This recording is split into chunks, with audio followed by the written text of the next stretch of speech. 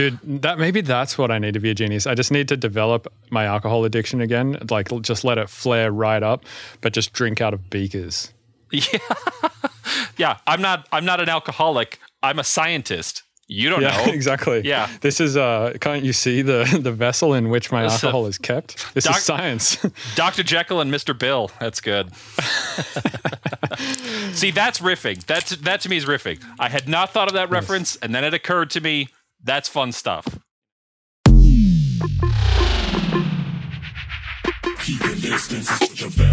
Welcome to the Mr. Bill podcast. I'm Anand Harsh, editor in chief of TheUntz.com, Bill's manager and COVID survivor, I think. Uh, TBD, actually. Sorry, this episode is late. That's on me for finally getting the bug after two years. I'm never leaving my house again. Today's guest is Mux Mool. You know how sometimes you'll be at a party and across the room you'll see two of your exes talking to each other, and you're like, I wonder if they're talking about me. Turns out my paranoia was well founded. Mux Mool first rose to prominence during the early Adult Swim era thanks to his bump music, which he spun into an entire career via Ghostly International, as well as some other labels, releasing albums such as Skull Taste and Planet High School. He was making lo fi hip hop to study and relax too long before it was cool, and he's very cool. Also, used to do a drunken live stream show with me on the internet before we got sober and before we could get canceled for our bad takes on everything.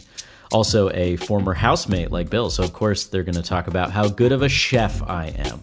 Anyway, Brian is one of my favorite people on the planet. Planet High School, still the best album name ever, no contest. Speaking of lo fi hip hop, today's episode is brought to you by Artiphon. The, they made a handheld mini looping MIDI controller and sequencer that's about the size of like half an orange. Their bestseller Orba responds to natural gestures like tapping and tilting, and its touch sensitive pads capture even the most subtle micro movements. You can idea dump your next beat on the go. It's got a built-in speaker and a eighth inch headphone jack if you don't want to broadcast your juvenile creations. Use it with any DAW like Logic or Ableton and take full advantage of its incredible MPE capabilities. The best part is it's under 100 bucks. So Bill said I had to make a beat with it for the opening and frankly, it's been a ton of fun as I've been laying in bed with the Rona. Here's uh, something I made in 4 minutes and uh, I can play on top of it too.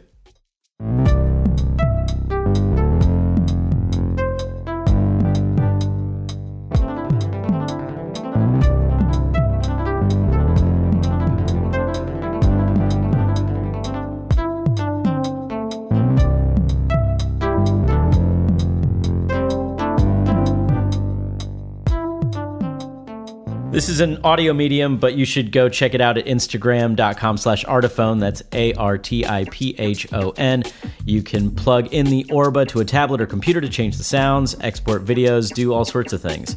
Um, it's, it's a lot of fun. We've been playing around with it a lot here at the house. Use code Mr. Bill's Tunes for 10% off your Orba. If even a dummy like me can use it, you're going to be great. Everything is on the website, tutorial sample packs, tour dates, and this podcast. Go to live.mrbillstunes.com for absolutely everything Mr. Bill. And thank you to everyone who has supported the debut Kill Bill EP. It's kind of going nuts right now, and we're super, super excited about the response and reaction to it. The tour is off to a crazy good start. Three shows at or near capacity in Indianapolis, Portland, and Seattle. Um, they're going to be in Manchester, New Hampshire on Friday, April 29th, and San Diego on May 5th, and Washington, D.C. on June 1st. Bill's doing solo sets at Disco Pussy in Vegas on May 3rd and Soundwell in Salt Lake City on May 7th. Both of those shows are with Ben and Canty of Zebbler Encanti Experience. Then Sunday, May 8th, he's headlining Soulfest in Florida.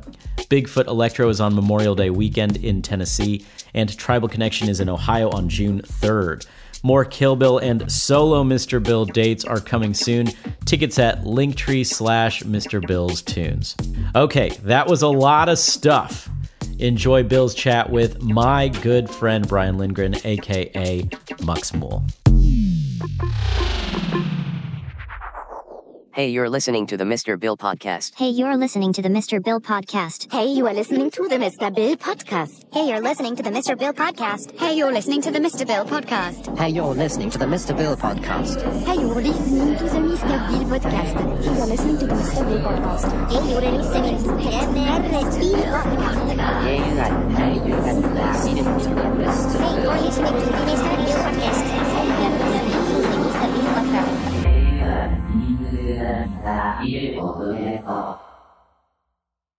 Yeah, there we go. All right, cool. Should be good. What up, Bill? Not too much, man. Yeah, thanks for being flexible. I uh, have had like really shitty sleep lately. Um, I think I've just been like stressed in weird ways and shit. So like, I will stay up for like two or three days and then sleep for like multiple days. And yeah, my shit is all over the place Huh. right now. It's, it's weird. But hey, you know, this is the time for weird stress. I mean, it's just been the age of weird stress, has it not? It has. Have you heard of the new BA2 coronavirus variant? No, I haven't. That's great. I'm glad I'm Yeah. hearing I'm glad I'm hearing it from you. yeah, yeah. Because uh, you know, at least I'll tell it to you with a smile on my face, not like CNN. Yeah. they'll they'll grimace at you while they tell you this information. But uh, yeah, basically it's uh, more more uh, catchy than Omicron uh, or Omicron, however you want to say that, and it is uh, also worse for you Oh, than Omicron. fantastic. Yeah. You know, I I got vaccinated. I stayed safe for a long time, and then I had a show back in November, and the the mandates here were lifted, and it was so awesome to be in like a packed crowd again. And I had to pass through that crowd to grab like my merch and then leave. And I got so sick after that. And I never got tested for corona, but I I mean, it seems pretty clear that I got it, and it was rough. Damn, what were your uh, symptoms? So, uh, I mean, very flu like, of course. I had a crazy fever, um, and then just like full body aches. And then eventually it turned into a cough, and it was a really terrible cough. Like it was, you know, the kind of pathetic wheezing that I haven't done since I was like a kid. And, you know, I went to public school you know, like that kind of sick. But uh, it was it wasn't until I was like I went to the fridge and I grabbed something and I I like had yogurt and I tasted. it. I was like, well, maybe I can't taste it because it's yogurt. It doesn't have that much flavor, right? So I started eating other things. I was like, nope, it's gone. No, uh, it was terrible, but but I lived. That's crazy. And like, how pungent of a thing did you eat and couldn't taste? So the thing that I ate to test it is, if, have you ever had garlic? It's uh, like garlic cloves that they just leave in honey, and it's sort no, but I've I've had like garlic cloves that just come in the bag already peeled. Yeah, so if you take garlic and you put it into honey uh, and just soak it for like a month, uh, it sort of makes the the honey a little more liquidy, and the, it like you know they just sort of fuse together, and it creates this very crazy third flavor. But it's supposed to be good for uh, illnesses and stuff. So I was like, I'll give this a shot, and I couldn't even taste that. So Damn, that seems like it would be quite potent of a taste. yeah, it's still it's still raw garlic, so I should have been able to taste it. So what's going on there? Honey has sugar. Garlic has definitely not yeast. Um, yeah, well, I wonder what's going on there because if the honey's getting more liquidy, that means seems that seems to me like some sort of fermentation. Yeah, I guess. Hmm. I don't know because we got it at a like a farmer's market. This guy was talking it up and saying how great it was, and we also got some pickles from him, which were really good. And so, uh, just you know, it was like, why not? You know, support a farmer. And then I ate it. It was. I mean, it's it's a pretty. It it tastes like garlic. It tastes like honey, but it tastes like something else also that I'd never tasted before. So, if you ever see it, give it a shot. Yeah, and the I, I will if I ever see him. Yeah, yeah. If you ever if you're ever at the Denver farmers market, yeah. Right. Um, yeah. So I the other day, um, this was when I was living in San Francisco still. So it was in like December. I was uh, laying, or I was. I'd just been the same deal as now. I was stressed and I'd been up for a few days and it's not, you know, treating my health the best. And then one day, like my arm started going numb, my left arm Oh no. and I started started getting like a jaw pain, uh, and uh, I was short on breath, and my heart, like, well, sorry, my chest was like extremely tight, um, and I was like, oh my god, I'm like having a heart attack for sure, oh no. and and I was like, fuck, I don't want to have a heart attack. That's like bad. yes. Um, uh, so I, was, I literally just like was laying like completely flat and like sprawled out on my uh, floor and just like trying to breathe really slowly, um, trying to calm myself down because I was like, maybe this is anxiety. Yeah. Uh, and after a while, I was like, all right, it doesn't seem like it's anxiety. It seems like it's actual like heart problems. So I was like, well, maybe I'll just sleep it off. So I uh, got in bed and fell asleep. This was like 4 p.m. or something like that. And then I got up at 9 a.m. the next day and I was supposed to go mountain biking with a friend at Mount Sutro. Man, you So I was sound like, fun. yeah. So I was, I was like, oh yeah, I'm gonna, you know, go try and do it to see if my heart can handle that.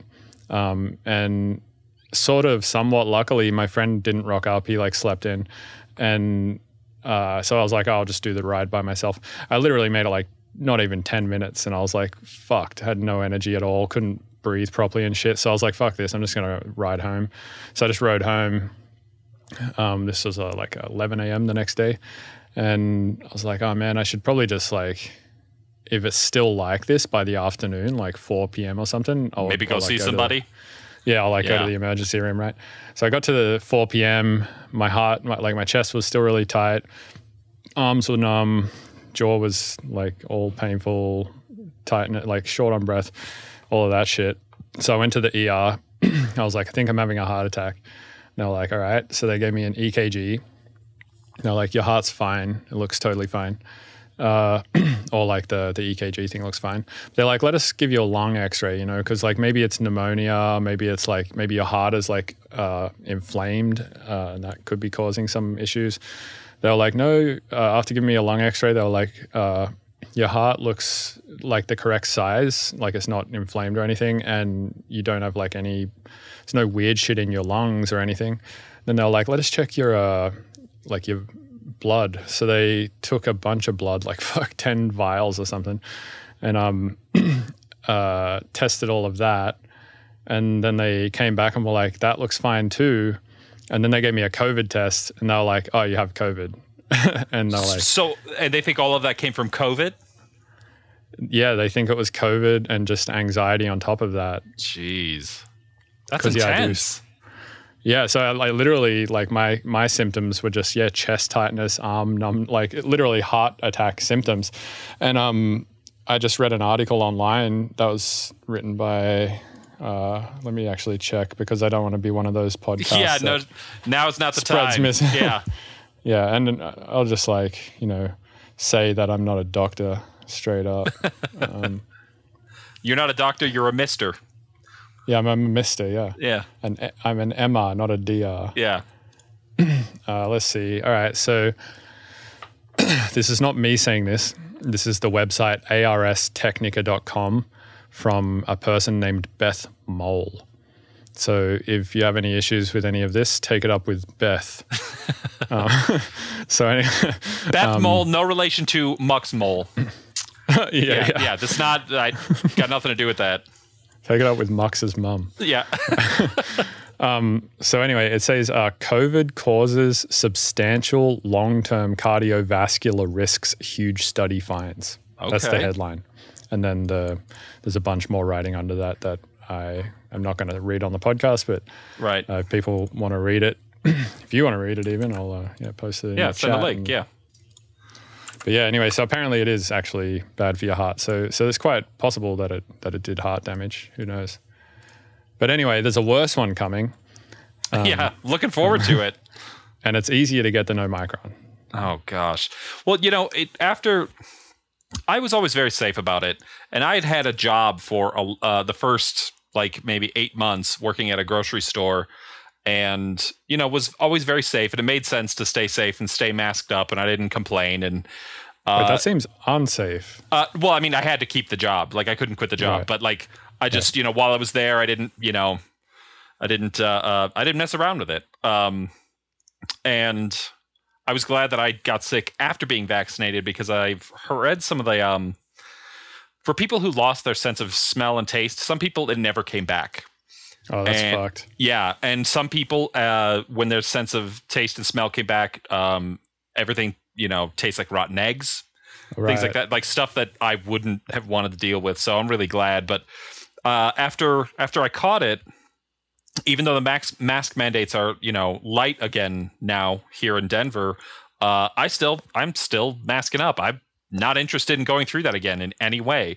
I'm still Totally. keeping distance. I'm still you know uh, uh, trying to make sure that my immunity is as good as possible in in other ways. So Yeah, totally. yeah, same here. I mean, me, Anand and I don't leave the house without N95s yeah, because I mean, why why risk it? It's like yeah, you, why risk reinfection? Why risk if you have it like potentially giving it to someone else? It's like Yeah.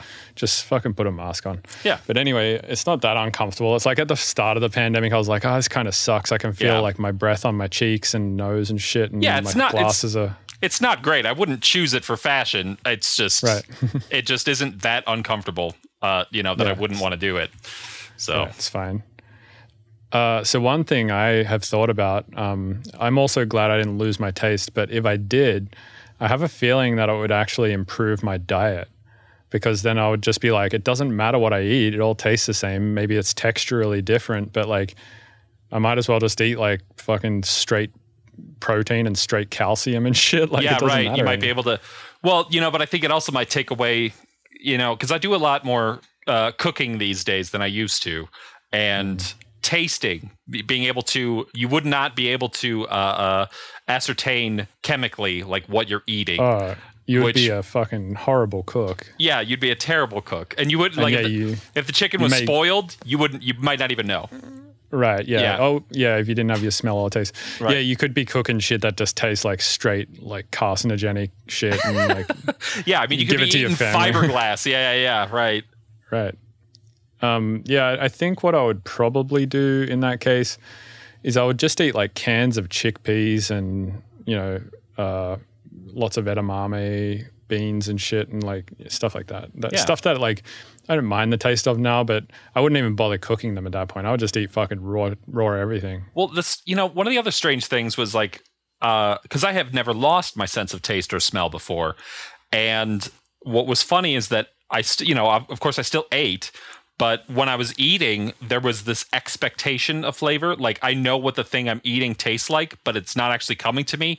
But I'm like imagining, like, am I tasting it or not? And ever since then, also, whenever I taste something, or often when I taste stuff, I I like question it. I'm like, is this what tasting is? Is this what I'm doing? Like, you know, it's it's just I've never had to go through that before, but it's been funny and uh yeah. But I can taste again and I could, you know, smell. This is almost like phantom limb syndrome, right? Like when somebody That's yeah. uh, that's kind of what it, that's kind of what it felt like because it was like, you know, all the other cues of like eating ice cream and like vanilla ice cream, like you you can imagine what that is right now, how it that you know, all of those things and the only thing that's gone is just the vanilla like flavor, but you still know it's vanilla, so it's yeah. Phantom limb, man, phantom tongue, phantom nose. Huh. So what were you eating when when you couldn't taste anything? Um, so my appetite didn't change. Like I was still well. I mean, I, when I was very very sick, I I couldn't eat at all.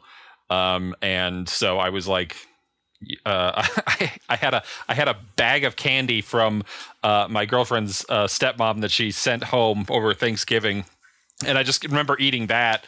But like, yeah, um, I'm trying to think like what some of the wilder things like eating a cheeseburger, like you know during that that was that was pretty strange.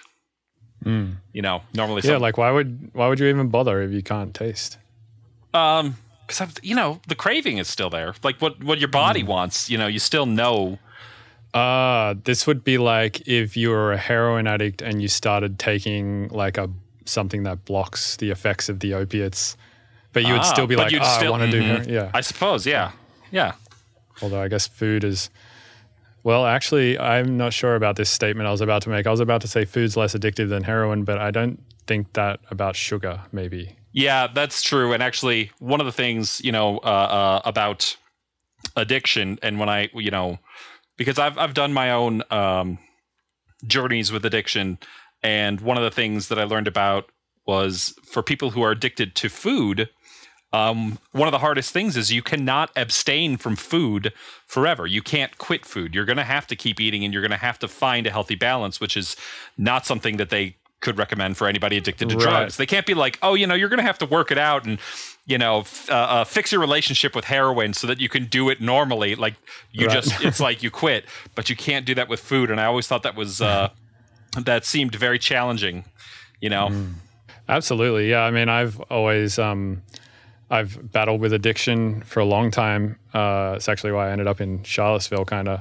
But uh, yeah, totally understand. Like I, I'm, I'm an addict, like at the core, so I'm addicted to kind of everything. But um, food, food is one of them, and that's why I was like overweight for a long time, uh, and still am actually. I would say, but yeah, it's a extremely hard thing to to balance food. You're right because it's Yeah. something you can't stop.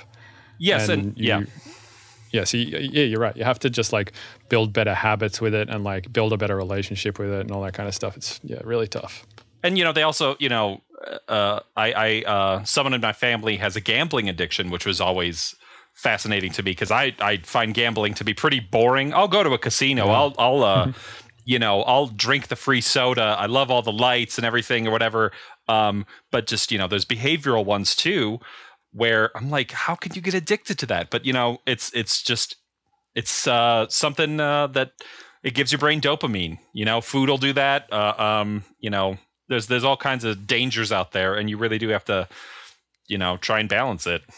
Right. Um, how comfortable are you talking about your addiction and what Oh. you're addicted to? Absolutely comfortable. Ask ask away. Oh, uh, well, what substance were you addicted to? So, um, uh, in my in my younger years, I had uh, uh, I was addicted to, or you know, had a troubling relationship with alcohol. Um, a lot of you know blow ups and things like that. But actually, when I got sober in uh, 2007, um, that's when actually my career really took off. Was after that. Um, because I Funny how that works. yeah, it is, isn't it? Um, well, I finally started taking myself seriously and just saying like I can do this and I want to, and you know, I, I wasn't routinely having like breakdowns and stuff like that, and confusion, confusion and stuff, and um, you know, I did some AA stuff that taught me communication skills and interpersonal skills that I never really had, such as you know, like why to tell people the truth and tell them right away and things like that where it was really started improving my life you know to be able to say to people i don't want to hang out with you or um, i can't i can't do that and you know some boundaries. So that was all very helpful. Um, and then later on it became uh, adderall because of course uh, i you know i still suffer from adhd uh, issues and adderall uh, solves some of them but it causes a lot more of other problems. And so that that became a thing for quite a while especially while touring. Like you know i would say i mean uh, uh, i mean it's great for touring. If, if you don't have long in a hotel and you know you got to be at the airport early in the morning just stay up you know um, like, who needs sleep? yeah right It's not. And- It's not like uh, staying awake is just doing low level brain damage to you constantly or anything like that. yeah Just push right. through. right yeah uh, but also your brain is firing so you don't you don't feel the fatigue or whatever but um you know and that was that has been you know i mean i'm i'm i'm sober now been sober for a while now but it was it was you know throughout uh, a few years where it just you know you have symptoms you have frustrations you're like why can't i you know do this? Or like you know getting frustrated when you when i turn on a video game and i don't i play for maybe six minutes and then i quit. Or Right. open up a session you know do it for a little bit and quit. And it's not about sitting down and doing everything all at once. It's just about uh, trying to uh, uh, remain consistent for you know like just try again. Cons- just like consistently start things and quit. Uh, you know, yeah, and, and don't be afraid to go back to it. You know, it, it, it um, try and be. I'm trying to think of the word. Uh, uh, but you don't. You, Persistent. yeah, you want to you want to try and structure yourself. You know, to do that, and also one of the other great things is exercise. Oh man, exercise will help you. yep. If, if, if, you, if you're not depressed and you get up and you go like exercise, take a walk, you know, those things are really helpful too. Yeah, it's totally true. It's funny, man, because like I, this shit that I know makes me feel bad reliably. I mean, like every time I do it, it'll make me feel bad. Like eating fucking chocolate or something, or Yeah. eating like too much ice cream. Like I know a hundred percent with uh, like without a doubt, after it, I'm going to feel worse than I did before it. Yeah. Uh, and I know also with a, almost 100% reliability that every time I do exercise, I'm going to feel better after it. Yep. But for some reason, there's this like fucking dumb Oh, ass man. dissonance in my mind that's like, I don't want to do this thing that I know reliably makes me feel better all the time. And I totally want to do this thing that I know reliably makes me feel bad all the time. Right. Yeah, that that can be a struggle too. And it's, what's funny is I uh, I also ride a bike, and I I love the the feeling. Uh, you know, kind of it feels a little bit like flying, and I have a nice bike, and so I resist exercising with it sometimes. And then every time I get out there and I start biking, I'm like, this is this is fun, and this is as easy as exercise could ever get. Right. You know, I'm do just you mountain bike or no, it's it's a it's a street bike, single speed. So a fixie? no, no, call not fixed gear, just single speed. It's still coasts and stuff. Gotcha. Yeah. Okay. Um, does your cat not have a tail? Yeah, Mo. Uh, Mo is uh, he is a um, flame point Siamese Manx, so he has no tail naturally. What? Yeah, Hold on, I gotta Google this cat. Yeah. Flame Point Siamese Minx. Manx, M A N X. M A N X. All right, let's see. He's behind me right now. I'll see if he can come in here. Yeah, he. I just noticed when he was climbing up, I was like, that looks like a very round butt Yeah, with Yeah. no tail. he was born with no tail. He's just like a little fucking scud rocket or something. Well, he also he also has a little um. There's a there is a little nub there that I can't see because it's under hair. But when you pet him, sometimes it'll move a little bit. It's pretty cute. That's sick. Yeah. It's like that um that meme where it shows the cat like moving and then it like goes to Shaquille O'Neal or whatever doing the same thing. yes. Yeah. The. Yeah. Yeah. Yeah. It's awesome. Um, yeah, man. So uh, we said we are going to talk about living with Anand because you Oh, also yeah, lived with yeah. Anand, and people of the podcast are pretty familiar with him at this point because he introduces every episode. Oh, does he? Okay. Um, Yeah, so so people know Anand. We we we've done a few episodes before. I think people like Anand. He's a pretty likable dude. I think. He's a very likable guy. Yep. Yeah. And uh, he's also a fucking crazy cook. I had no idea. Like, Yes, literally, yes. I, I've known the dude for like fucking a decade almost. And like, and then I rock up here and he's like, oh, yeah, I'm, I'm a gourmet chef. It's like, what? Did he say he's a gourmet chef or just No, I said that. yeah? Okay. yeah, yeah, yeah. Uh, yes, But I, he is, dude. I mean, like the stuff he was cooking for me, I was like, this looks like shit I would get in a restaurant, and it tastes like shit I would like. It's so good. yes, and uh, I had some meals with him, and you know, uh, it, when I lived with him, gosh, what year? I don't know what year that was. I think it was maybe 2015. I was, I had had a good living situation with someone, and then um, uh, his girlfriend moved in, so I had to move out, and I was, you know, the Denver housing market wasn't easy then. It's not easy now. Um, and so I just was bouncing around and then eventually found myself there for a while and it was great. It was really nice of him to open up his house to me. You know, Mm. Yeah. owe, owe him forever for that. Anand told me that uh, he's like, oh yeah, you'll have a good conversation with Mux. He's like, when me and Mux get together, though, it's like almost uh, like who can out joke each other. Dude, I love riffing. Yes, there were uh, many late nights of sitting there riffing. I love doing that. Even though I, you know, I'm not, I'm not like not always trying to be funny, but I love the riffing, especially with puns. just like just like saying random crap, basically. Yes, I do that. I do that with a few other artists, like uh, uh, Elliot Lipp too. I love riffing with him. Yeah. so Nice riffing. It's a good word for it. I've Yeah. actually heard that um, said to me before uh, when I was hanging around with um, my buddy Michael Zarman, and he was just like saying a bunch of random crap, and then I would just like start responding with also just like very random stuff. Yeah. And he was like, "Oh yeah, man, this is sick. We're riffing." I was like, "Never heard that before, but all right." yeah. Well, Like you know, riffing to me means like making shit on a guitar, Right, Playing and- power okay. chords and shit. So like yeah, like a riff, a guitar riff in that sense, you know, it's just like this really it, it a riff in the guitar sense, I guess, is just what good conflict resolution with writing a melody or whatever, a question and an answer or whatever. And I guess if you riff uh, back and forth musically with people, you know, it becomes a conversation where you're like you're suggesting something and then someone else is resolving it. That it can be really fun, and if you can do that properly with comedy or puns or or you know whatever, um, that also becomes a fun other level conversation where you can the person understands the kind of humor that you're going for you know, uh, I I do like communicating that way. I don't get to do it that often. Um, actually, have you heard of the the uh, Endless app?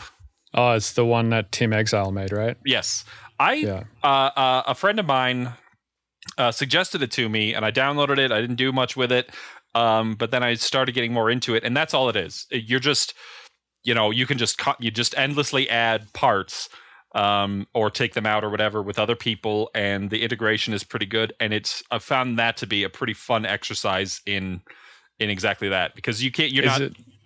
Sorry, finish. uh, it, because you know you there is a chat part portion of it, um, but you just hear what someone throws on, and then you just kind of write to that, and then you know back and forth or however many people are in there, and it really is a fun exercise. So Is it just on iOS or is it on computer? they have it they have it on uh, computer now too. Uh, with uh, you can write parts in Ableton and just you know put the loops right in there. So in. yeah, Dude, that's so cool. Yeah, let's do that sometime because yeah, I've I'd love I've, to uh, have you. Yeah, man. I uh, downloaded it when it first came out. Um, I got like some beta email from Tim, and he was like, "Check this thing out, beta people." And I was like, "I didn't, I don't know how you have my email even, but Yeah, I'm like a big fan of his stuff, so I wasn't like mad or anything." But yeah, I, I downloaded it, and I think because I got it in like the beta phase, maybe it wasn't like completely ready or something. And then I, it was only until recently, right, where he released like the actual releasable version to the public or something. yeah. It's it's it feels new. Endless, endless dot Endless, FM, endless with three S's. right? And then it's Yeah. like a dot FM address, correct? I don't. Yes, I think so. Yes, it is. Yeah, Yeah. yeah, dude. Tim Exile is crazy. Like he's for the longest time just been so forward thinking. Like he's one Uh, of those yeah. Richard Devine kind of people. Yes, he is. You know, it's funny because I, you know, I had, uh, uh, I'm a fan of his too, and I got to play with him at Sonotheque in Chicago like a million years ago, and he did the show with a joystick. Or a portion wow. of it with a joystick, where I don't know if it was just like X Y controls or what he was, you know. But I was just like, you know, I'm like just starting to play the M Audio trigger finger, and this motherfucker's coming with a joystick, and yeah, it was it was really it was really cool. You know, one of those one of those performances that I don't often see in electronic music, where there's a bit of magic involved in me going, "How is that happening?" You Yeah, know, I mean, like that's beyond me. Yeah, dude. It, I, so every now and then, like a fan will hit me up, right, and they'll be like, "Dude, you're a genius" or whatever, and I'm like, "No, I'm really not."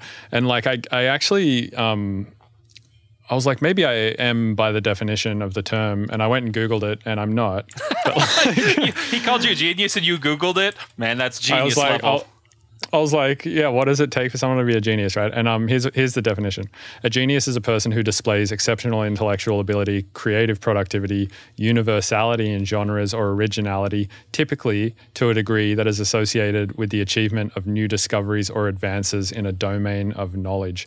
So, like Tim Exile is that, Richard Devine is that, like these people like who are designing the software that people like me use are right. that. So, But so I'm not making any new discoveries, man. Like this dude's coming in with shit like that, and he made like the mouth and the finger for Reaktor, and like he's making like a crazy tools like this endless thing. Like that's a genius, you know. you know and i really appreciate that kind of stuff because i i feel like what i you know uh, uh it's interesting that you're talking about you know not feeling like a genius but i could understand why people would think that because i've watched you know some of your uh, um, you know production streams and it goes by so quickly and it's sort of that uh, how you work is proof of one concept that I've always felt, and that's like you don't always get better. It's more so that you get faster. Like when the more and more you practice stuff you arrive at certain points much quicker. And you know when you're copying and pasting and you can hear all your keyboards and stuff going you know i think that is really uh, overwhelming or, or not overwhelming that is really impressive to people. It's sort of like magic you know like they Right, you know but to you of course you're just doing what you've been doing what you did slowly at one point really really quickly and you know uh, uh, using the tools within the thing that you have and i feel the same i don't feel like innovating in the world of computer technology i love Mm-hmm. ableton i wanted to use it but i'm not trying to you know i'm not making my own effects here Right, right. Yeah, Yeah. exactly. And I also don't necessarily think making your own effects these days even makes you a genius because, like, now Max for Live exists. Like, I mean, I've made my own version of Kontakt in Max for Live, but it's not a new discovery. Like, Kontakt Right, was a new right, discovery right. when. But yeah, uh, I think like to become a genius like that, you really need to almost put music down and like start looking into science and Yeah. Well, and you know that's yeah. I yeah, I wouldn't want to be a genius. They seem troubled um sometimes and also I there's there's a level of science that I um that I don't really feel like approaching because uh you know, especially when I'm writing music, it, for me it's it I try and keep it to as as an emotional process as possible, not just fun, but you know, stopping and saying, is this a feeling? Is this how I feel? Is it reflected in this? Could someone who uh, uh, doesn't know how I feel hear this song and uh, you know feel what's in this? And uh, that, I mean, that's just a matter of working hard to you know use the software to interpret how I'm feeling, as opposed to uh, yeah, you know what I'm saying. It's- I'm not doing science. I don't got beakers. This isn't a lab. you know, there's plants. Yeah. yeah, I think uh, you need at least a couple of beakers. There's definitely probably at least one or two in the in the endless office, yeah, I bet there is. Yeah. maybe full of gin or something. Yeah. Dude, that maybe that's what I need to be a genius. I just need to develop my alcohol addiction again. Like, just let it flare right up, but just drink out of beakers. Yeah. yeah. I'm not I'm not an alcoholic. I'm a scientist. You don't Yeah, know. exactly. Yeah. This is uh can't you see the the vessel in which my This, alcohol is kept? This Doc- is science. Dr. Jekyll and Mr. Bill. That's good. See, that's riffing. That's that to me is riffing. I had not thought of that reference, and then it occurred to me. That's fun stuff. You know. nice. Yeah. I wanted to ask a bit about your uh, music writing process because I think I've asked about it like once before, and I and I, I want to say you told me it was like machine related to some degree, or like you play stuff on like a beat pad of some sort, like an MPC or something. And Uh, yeah, I, I, um, I, I'm not very gear centric. Uh, I'm not very VST centric either. Um, I did get Ableton 10 last year, and I got Operator with that, which was really cool. I had never had Operator for any, uh, you know, live before. I'd always had Live Standard, but the Operator comes with some really great sounds. dude, operator's the best synth. Yeah, I, I had no. I guess I really didn't know, but uh, now that I have it, I I know.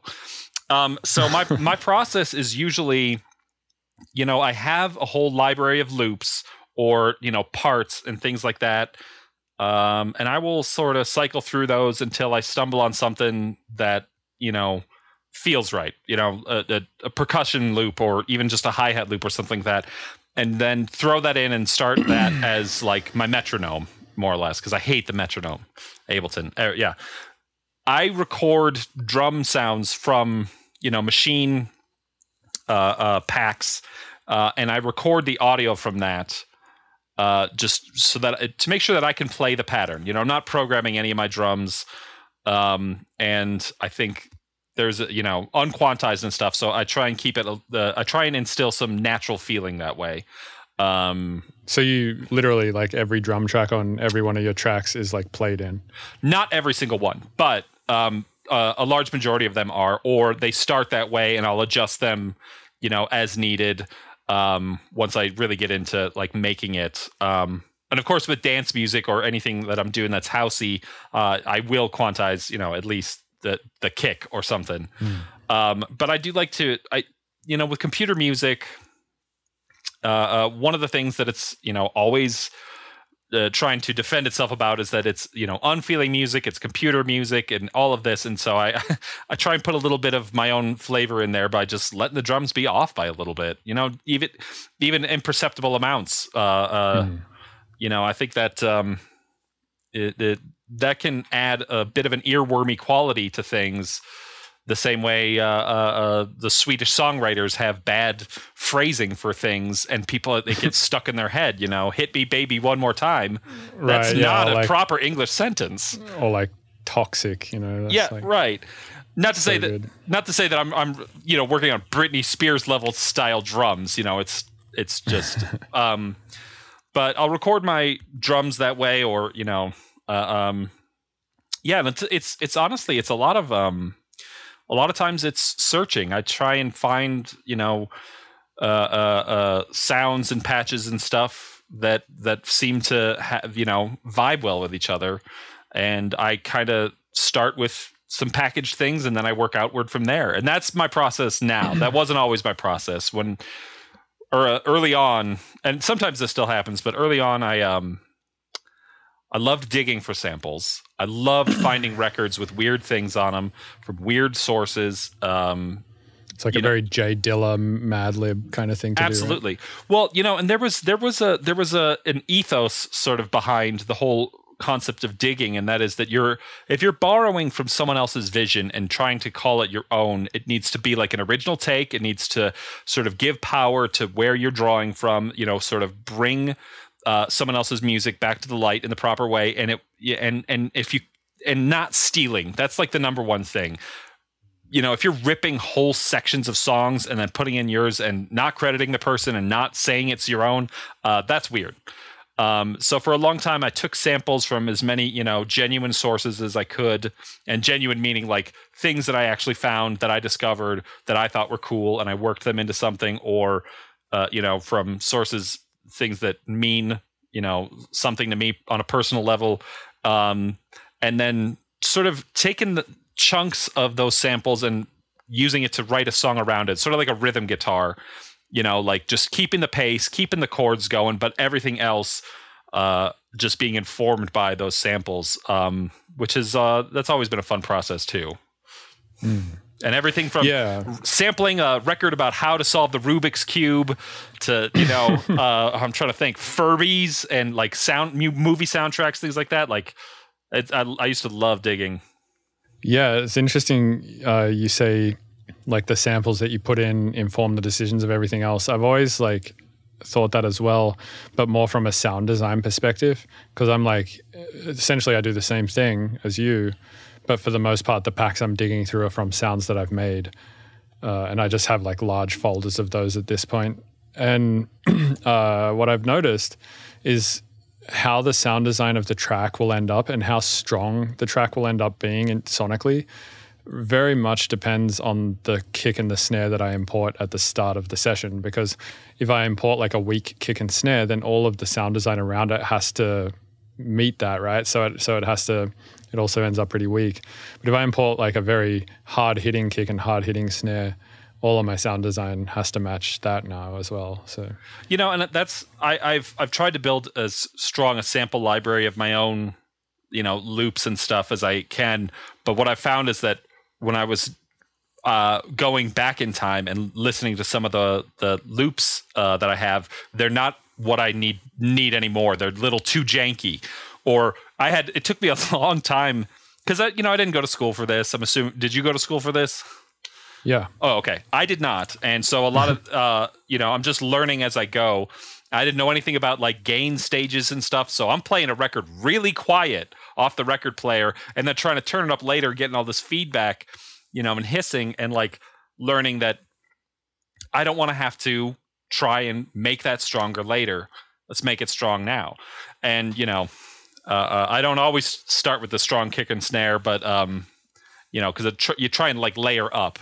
Like if I got like a quiet snare that has like a little bit of tone in it, and then add more later. But yeah, that's always doable. But I always feel like going that way about it, you're just sort of having to revisit the thing over and over again and make it because it's like you then produce a whole kind of shitty sonic shitty, shitty track sonically and then you're like re- at the end be like all right time to mix it and you reference it against like a really good track son that's that you know hits on a system or whatever and then you're like all right fuck i have to like go basically go back and like redo Start, everything yeah. um I wanted to also talk about your uh, you're saying you play things in and try to make them have like a human feel or whatever. I was talking to Tipper about this recently, and he has a track where he just turned the grid off completely, and he just imported everything by hand and just put everything in by hand, but the grid was off, so it was like uh, null and void thing. Like he was just putting it wherever it, it, it sounded good, right? Um, but I, I, asked him about it. I was like, like, how do you, how do you feel about that? And he uh, had an interesting point, which he was he was just like, it's completely moot, like whether the grid is on or not, because like you're just to put it where it sounds good anyway. So it really doesn't matter if the grid if you're working to a grid or not, because you're just going to do the same thing. Like either you're moving it off the grid, or you're just moving it to where it sounds good with no grid. Right.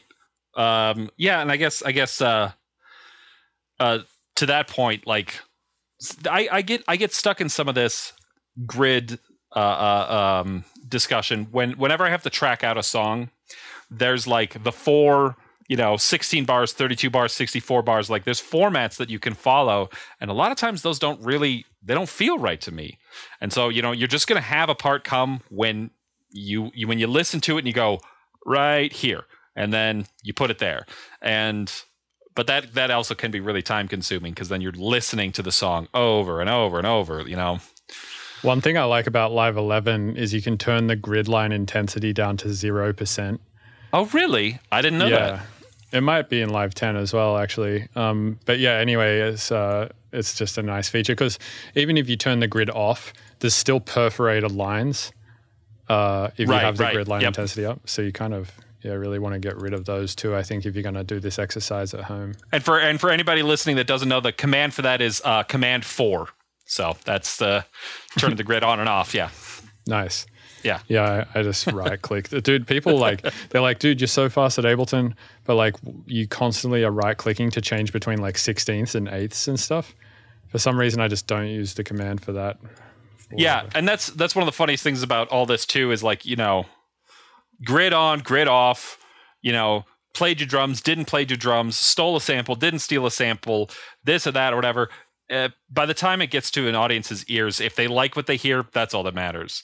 And there's a lot of, I mean, there's a there's no right or wrong answers. You can use these things. I mean, I'm sure you can use Max MSP to do your taxes if you just, you know, it, it's just because of how it you know these things do a lot of different things and i always try and tell people to um just do just find something that works for you because the learning curve is going to be steep no matter what and you're going to get frustrated and you're going to have to troubleshoot troubleshooting is such a huge issue like especially early on just yeah Yeah, I think the learning curve is not only steep, but it's also uh, like never ending. Yeah, right. You could know everything. And have you ever been in somebody's like really nice studio and they know how this works and they know how that works and this is integrated to that or whatever? Then you hear their song and it's bullshit. Yes, Yeah, that's, yeah. that is that is pretty a, often. Yeah, if you have a lot of technical knowledge, it doesn't necessarily mean you make good music.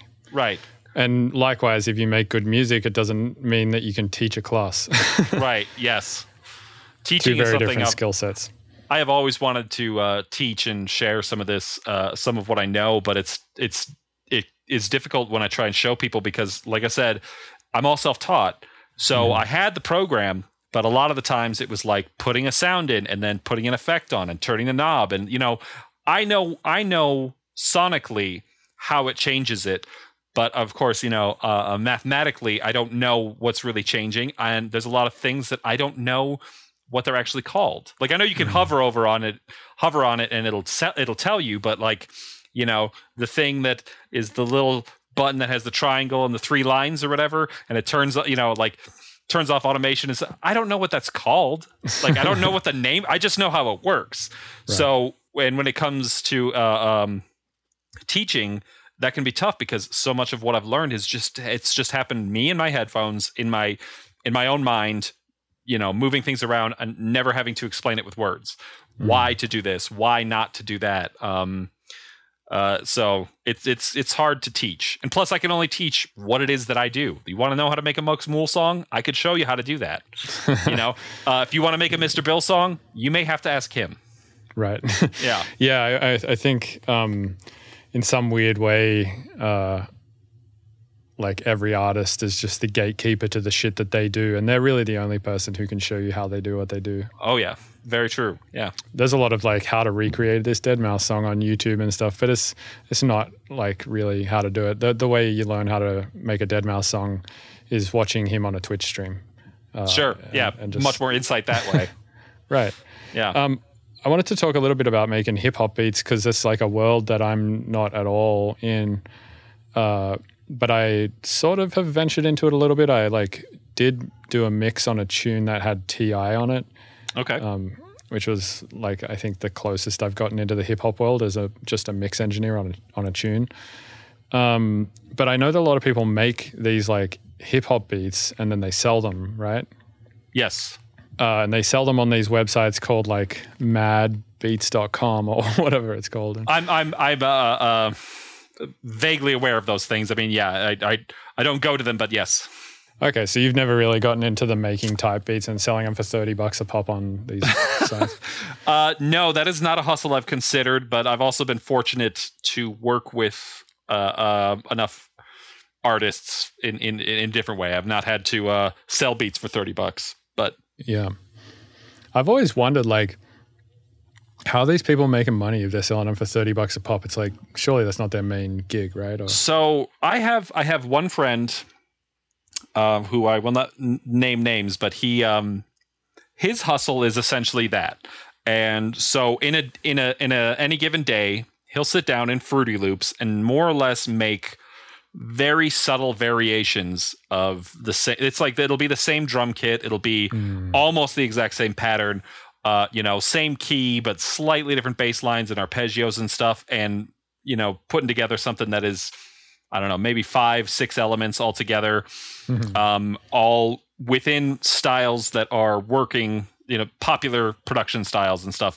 So basically, not just not innovating, but uh, just being just copy work upon copy work upon copy work and then uh he sells those loops and then he some of those loops get picked up by other bigger producers and then they use them and give them credits and stuff and i find that to be a very interesting hustle because uh the workflow just seems so different also seems know. kind of boring. it seems it yes i'm not i'm not trying to uh, it does seem really boring i don't think i could get much enjoyment out of that you know Yeah, uh, me either, man. I, definitely a big part of the process for me is the sound design. yeah Uh, not so much. I mean, the beat making, yes.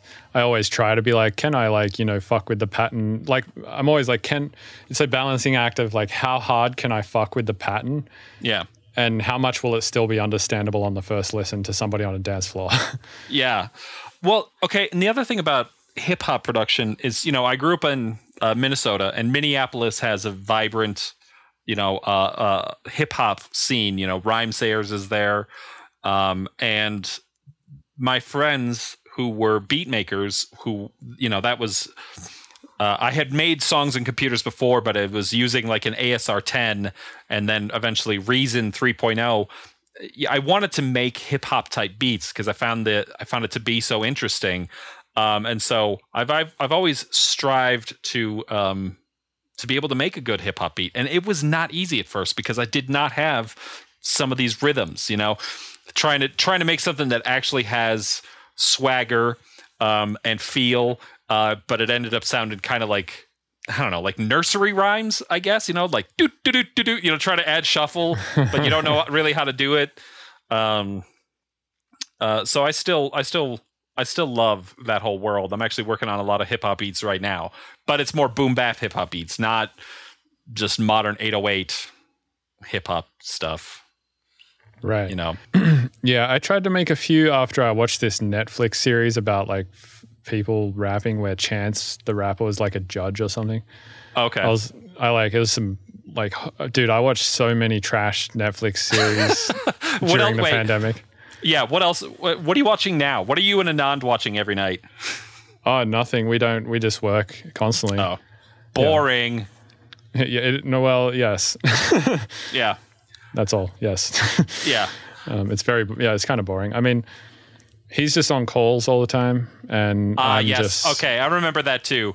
He would be on calls all day, and he could not relax until his inbox reached zero. His inbox never reaches zero anymore because he's Oh, he has too many artists on his plate. He's Right. it's just crazy. I mean, like I think about the amount of shit that my project requires to Yeah. run, right? And it's just so much. Like at this point, it's like one person cannot do all the work. And he takes on a large portion of it, but then he does that for like fucking 10 other artists. It's like, how do Yeah. you?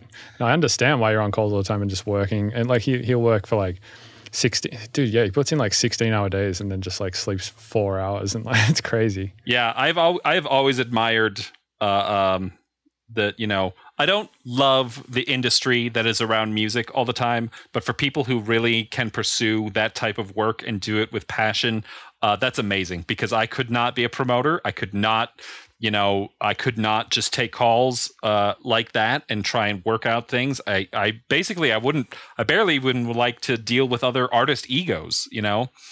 Um, not that I have, not that I'm an egomaniac myself, but like, uh, you know, I know that when I talk to my manager, I want him to make me feel special when we're on the call. And like, that's a small thing, but you know, just talk to me like, like, you know, just just be excited to hear from me. And when I have an idea, go, wow, that sounds great. That's not that hard, but I, you know, I need it.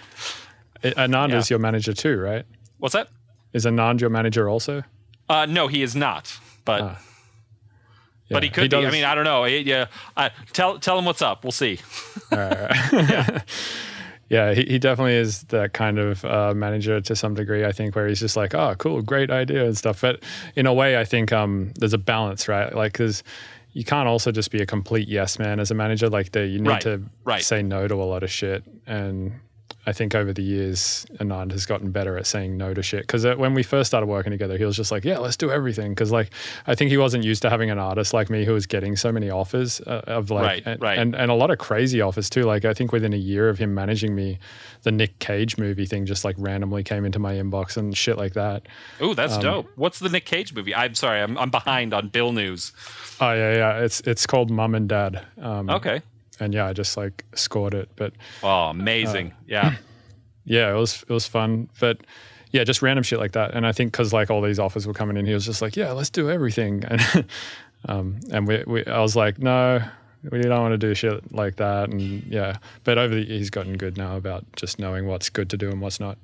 Well, sometimes when you go from like, you know, you have periods where maybe there aren't a ton of offers, and then when they start coming in, you you want to say yes to everything, but yeah, you got to know what's manageable and and also what's going to be worth it, which is, you know, I got to say for someone who's been self managed, you know, off and on, or for a lot of my early career. uh it's hard to know what's what's worth it to work on and not and there's a lot more to it other than just wanting to do the work Right. um, you know, and, and and also more than just money because there are things, there are opportunities that'll come up that it's it's this constant pull of uh, culture versus commerce, you know, and you have to have a good balance of those things.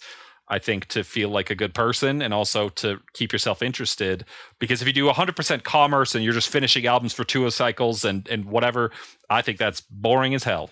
You know, uh, Totally. that is and that is not what I set out to do. I wanted to do interesting stuff also.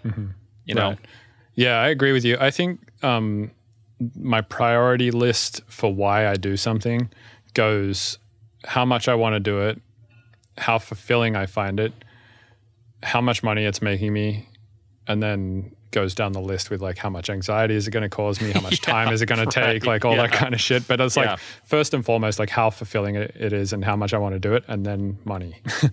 yeah, That's like kind of the top two priorities for me. And time actually is like another big one I think of because it's like obviously if it's you know a lot of money, but it's going to take me like the next ten years of my life, I'm like, well, probably not. Yeah, yeah, and I've uh, you know, speaking of offers that have come across the table, and um, you're talking about uh, scoring, uh, uh, you know, doing a film score or whatever, uh, video game soundtracks. I have done one, the Nidhogg Two soundtrack, and that was probably my favorite. I, I had never done anything like that before. Yeah, the Nidhogg Two soundtrack. It's myself and. Uh, you're checking it out right now. It's it's it's a really it's a really fun game.